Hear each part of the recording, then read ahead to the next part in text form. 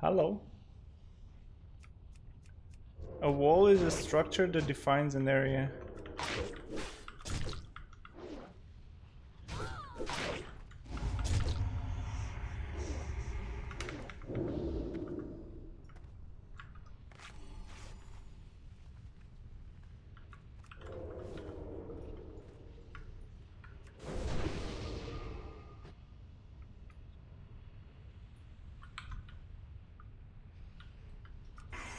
Thank you.